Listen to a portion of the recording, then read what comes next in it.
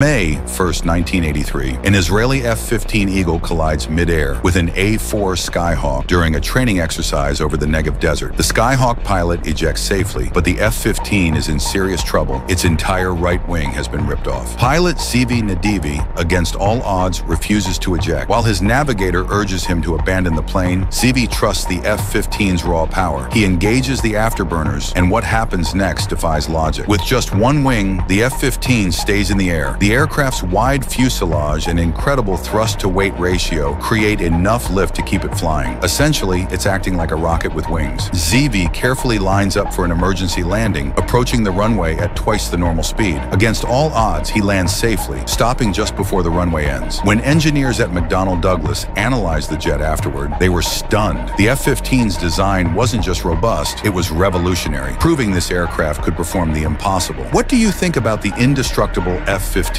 Share your thoughts below.